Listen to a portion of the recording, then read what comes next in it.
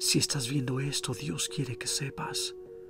Recuerda que el poder del cristiano está en la oración y la misma paciencia que yo tengo contigo la debes tener con los demás. Muy pronto va a llegar el día en que yo pondré todo en su lugar y tú vas a entender muchas cosas que ahora no entiendes.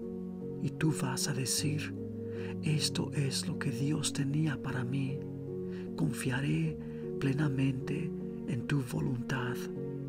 Hijo mío, hija mía, búscame, búscame en oración y habla conmigo. Hay poder en el nombre de Jesús. No lo olvides, hay poder en el nombre de Jesús.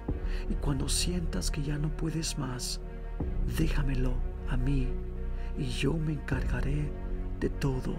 Yo cerraré puertas en tu vida que tú no vas a entender y voy a abrir otras que jamás imaginaste ni esperaste.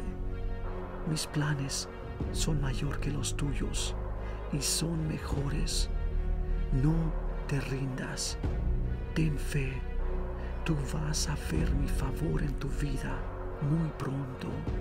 Solo ten fe y no olvides que el poder del cristiano está en la oración.